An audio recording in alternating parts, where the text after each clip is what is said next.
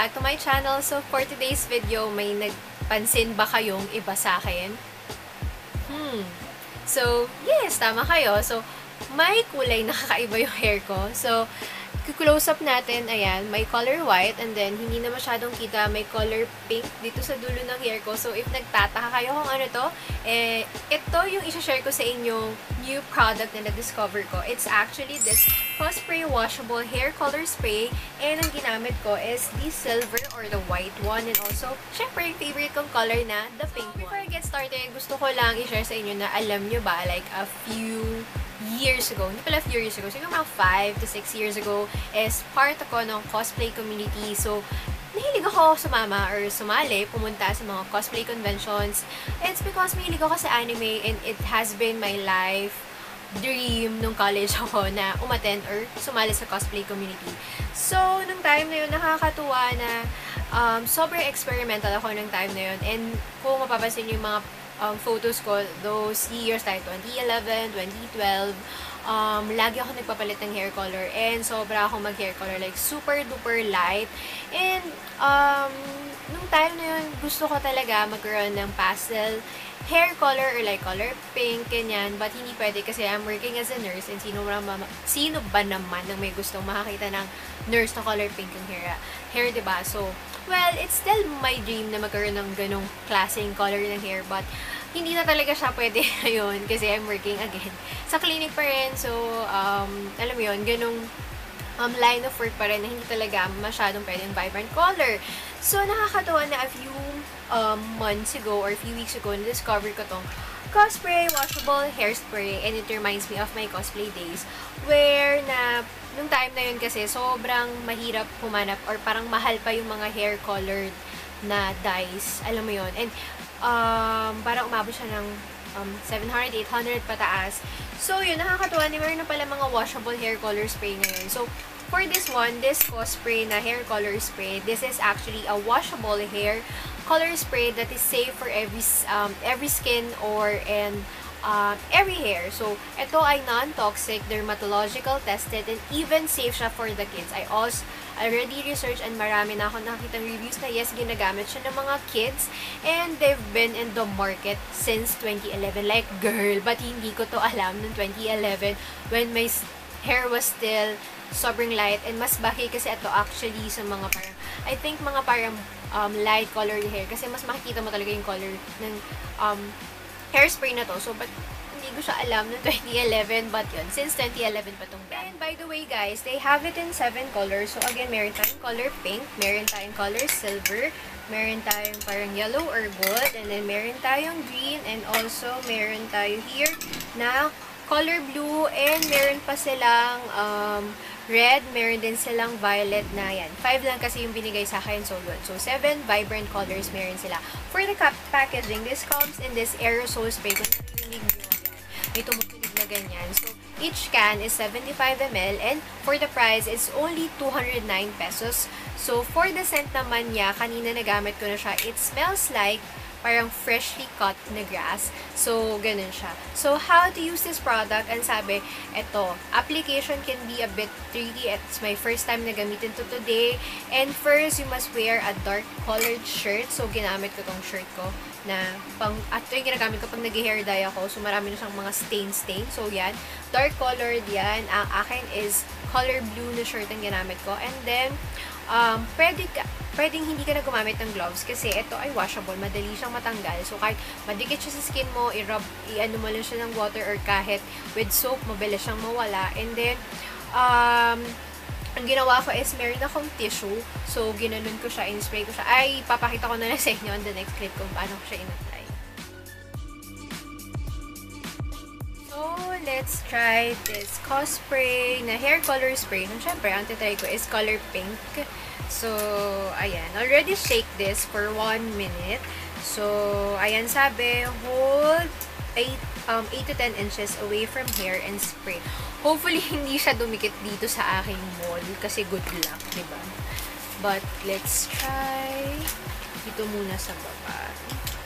So, may yan. May tissue ako, guys.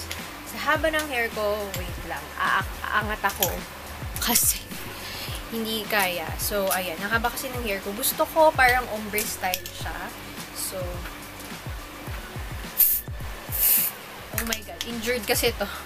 As you all know, nakat ako ng can a few weeks ago.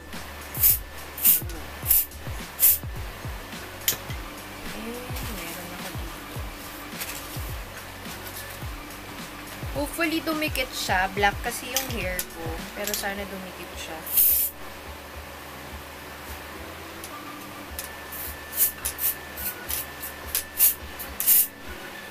Sabi 8 to 10 inches, pero di ba Ang lapit ko. Pero ganito siya. Ayun, nakikita nyo ba? Ayan.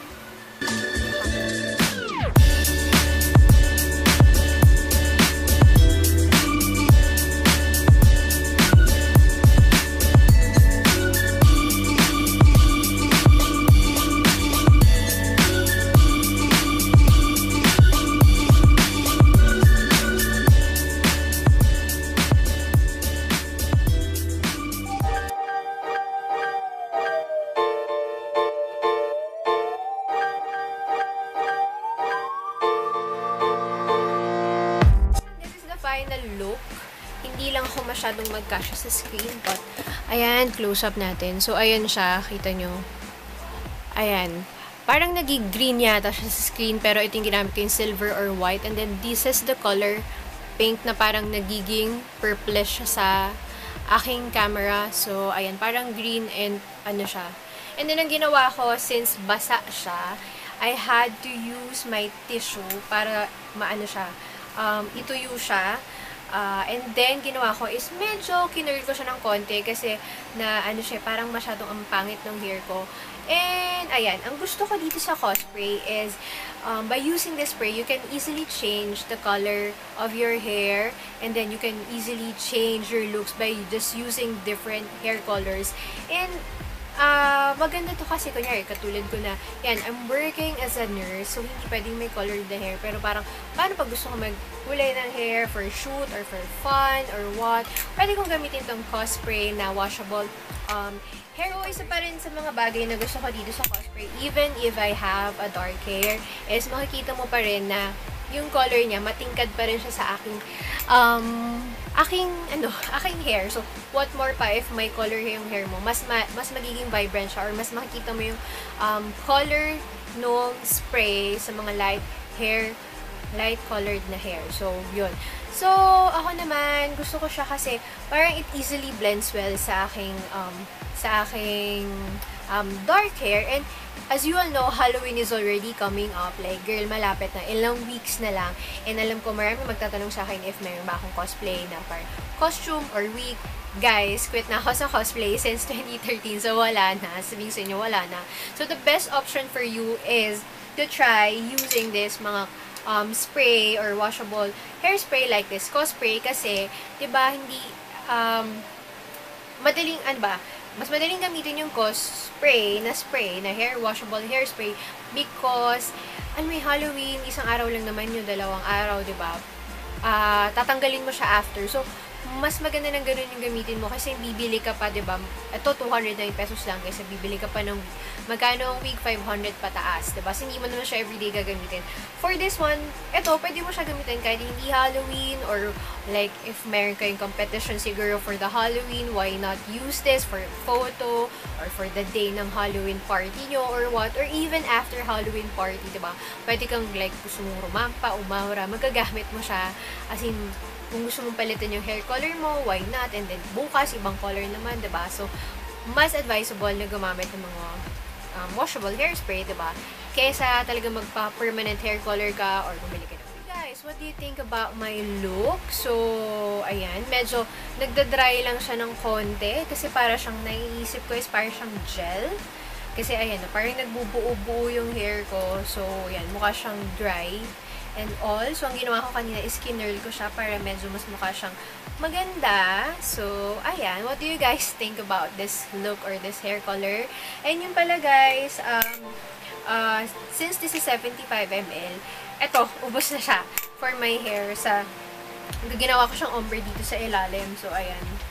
Uh, naubos ko agad yung isang can Then, kanina nilagyan ko kasi itong taas. But pag spray ko dito, bus na siya. So, kaya ginamit ko itong silver or color white. So, I think kung gagamit kayo nito, if mahaba yung hair nyo, better buy ng siguro mga dalawang ganito.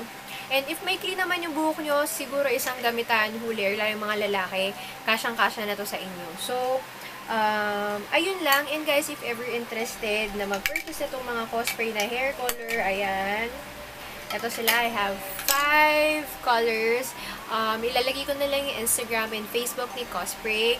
And yun lang guys. What do you guys think about this product? Or yan, malapit na yung Halloween. Ano masasabi nyo if you use this one? Or have you tried this product? So, yun. Hopefully, this video nakatulong sa inyo and you have any questions, comments, or suggestions, you can comment on my comment box below. And thank you for watching this video and I hope to see you on my next